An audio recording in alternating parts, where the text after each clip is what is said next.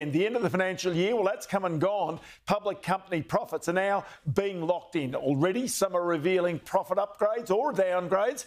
That has a big impact on their share prices. But late this week, around the world, markets lurched downwards under the weight of expectations that rates will rise at least twice more. Peter McGuire is the CEO of XM Australia and joins me now. Peter, many thanks for your time. It really is one of these bizarre situations that the longer that this sort of boom keeps on rolling, the markets have been very strong. But all of a sudden, I think it's going a bit too far that rates will go higher, and all of a sudden they come off in a big, big hurry as they have this week. Well, exactly, Ross. And I tell you what, it's been dynamic the first six months. Let's put our mind around it. 32% up for the Nasdaq, S&P on fire, 19 times multiple as far as earnings, and the best Nasdaq since 83. So you can't you can't say it hasn't been dynamic, and it's carried everything up. Japan as well. It's done wonders for our market, I think. And you're looking at uh, you know stretch valuation. So it's going to be an interesting second half, Ross. So those stretch valuations, this is it. It's almost the crisis of confidence, isn't it?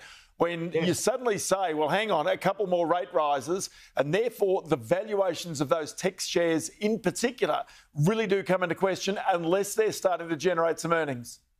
Well, exactly. The other side, of course, is you've got the S&P at 40% of its earnings are offshore, naturally overseas, but the tech sector at 60%. So that really puts, I, I think, uh, gives us all a little bit of an understanding. If you've got a slowing ECB, European market, you've got a, oh, and a slowing China, then consumption is going to be slower, I think, globally, and that's going to impact earnings. So, yeah, it's, um, you, but you've got a, a, a crap, the, the VIX index is absolutely crashed. It's uh, so it's at a very low point compared to where we've seen in recent months or years.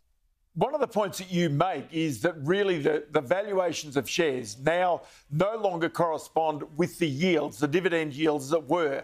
This really has been about trying not to miss out, that the money is effectively pouring into the market, and that's what's driving up these valuations.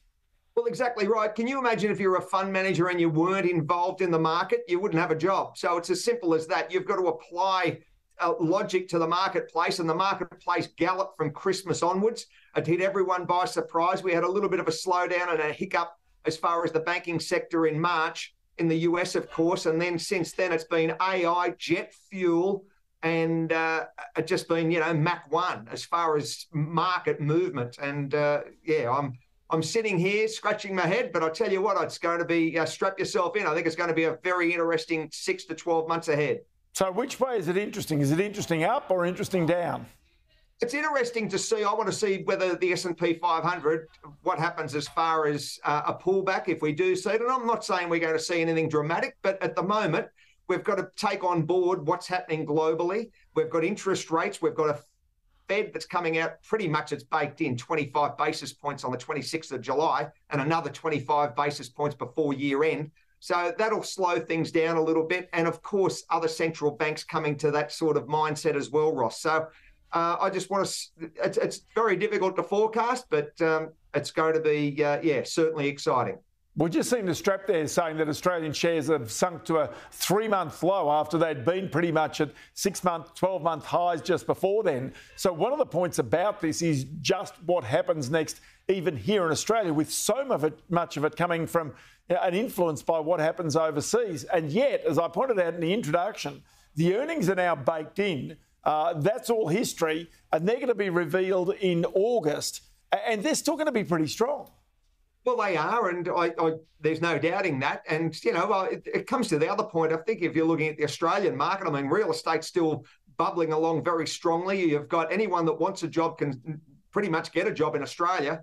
Um, wage growth is, you know, not too bad. So the overall, I think, f- feel on on our main street is relatively confident.